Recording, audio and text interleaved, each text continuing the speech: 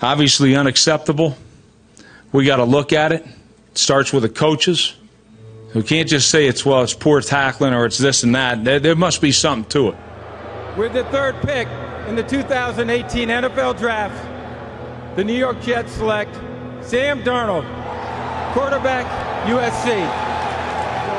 And he said that Sam Darnold was very engaging, very intelligent, and you could see he was a hell of a competitor. He would fit right in with what the Jets want to do. He said when they moved up from number six to number three and invested three second round picks to do so, they were looking for a guy who could change this franchise, and Sam Darnold would do it. Adam Gase, you just came over from the Miami Dolphins. What damn culture did you build? I'm wondering. I'm not sold. So I look at all of those different things and it gives me cause to pause. The Jet season is thrown for a loop. Starting quarterback Sam Darnold has mono. He'll miss Monday night's game against the Cleveland Browns and maybe more. Mono.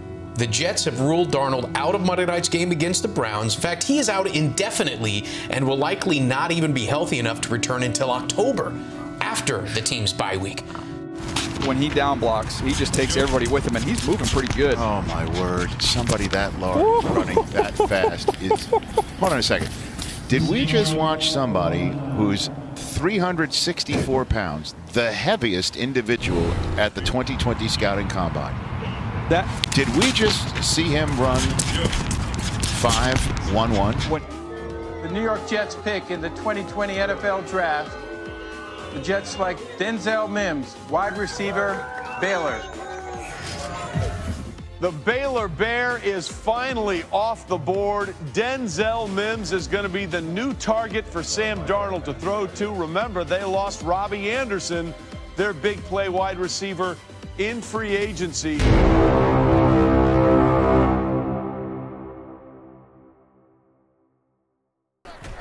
So here's Roy Toth cutting back on the first play. He's going to take off. It's a touchdown. Roy Toth.